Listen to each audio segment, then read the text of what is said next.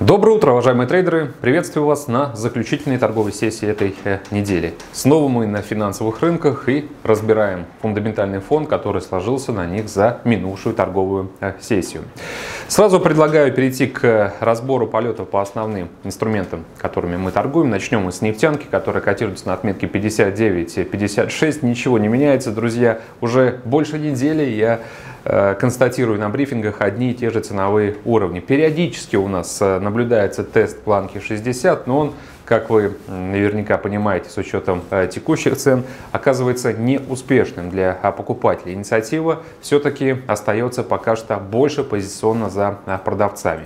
Мы э, очень много говорили о том, что для нефтянки являются определяющими факторами. И все-таки пришли к выводу, что опасения за темпы мирового экономического роста – это доминирующая тема, когда, которая никуда не девается. Даже э, готовность Европейского центрального банка, Резервного банка, банка Австралии, ФРС, Резервного банка Новой Зеландии, потенциально Банка Канады прочих регуляторов, которые э, даже когда-то начали уже активно стимулировать экономику, готовы двигаться по э, этому пути, э, все равно этого недостаточно, чтобы сейчас мы могли бы точно сказать, что эти меры будут оправданы, они э, приведут к оздоровлению экономики и впоследствии к восстановлению темпов мирового экономического роста. Сейчас э, продавцы этим активно пользуются, потому что понимают, что прежде чем эм, произойдет вот это оздоровление, можно поработать с фактом, которым сейчас выступает как раз состояние э, рецессии. Индикаторов того, что именно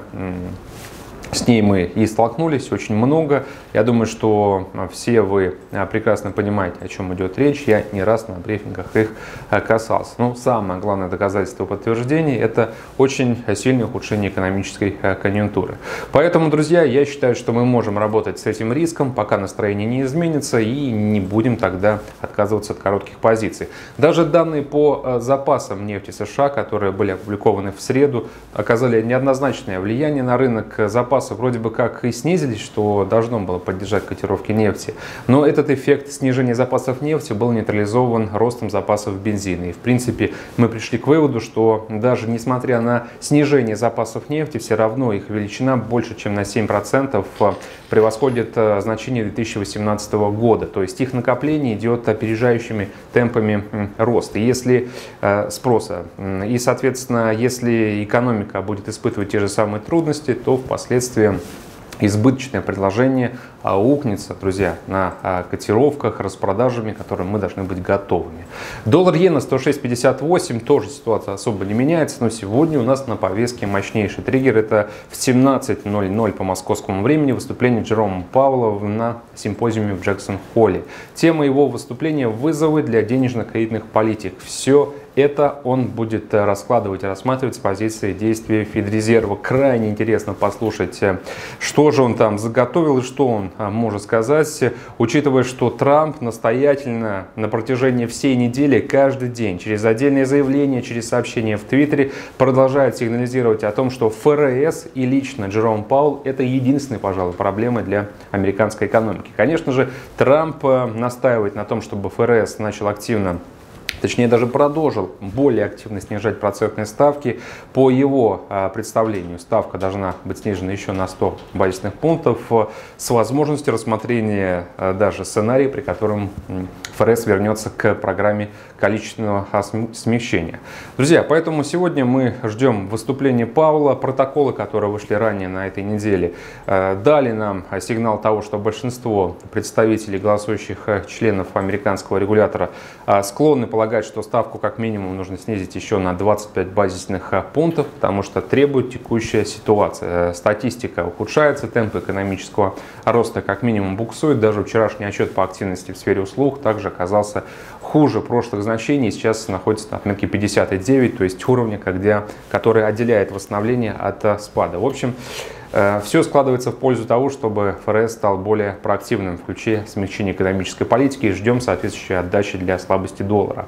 Евро против американца 1.1066. Постепенно, понемногу мы снижаемся к уровню 1.10. Вчера вышли протоколы Европейского центрального банка, из которых следует, что руководство ЕЦБ абсолютно согласно с тем, что экономике нужны необходимые новые стимулы. Это снижение процентной ставки и перезапуск программы количественного смягчения. Поэтому очень высокая вероятность того, что э, в сентябре, на заседании 12 сентября, мы как раз э, и получим э, четкий сигнал того, что ставка снижена через фактическое действие на 10 базисных пунктов до минус 0,5. И я надеюсь, то, что будут детали по программе количественного смягчения. Подталкивает и стимулирует наше ожидание того, что именно это и произойдет. Еще и слабый фон, слабая статистика. Вышли вчера данные по активности производственного сектора еврозоны, собственно, друзья, и Германии. Если вас интересуют непосредственно сами цифры, можете посмотреть, но везде тотальный спад, который э, продолжается. Доллар-канадец – это еще одна валютная пара, за которой я рекомендую сегодня последить с позиции того, что на повестке у нас э, важный релиз по розничным продажам в 15.30 по московскому времени. Они выйдут. Текущие котировки 1.3321.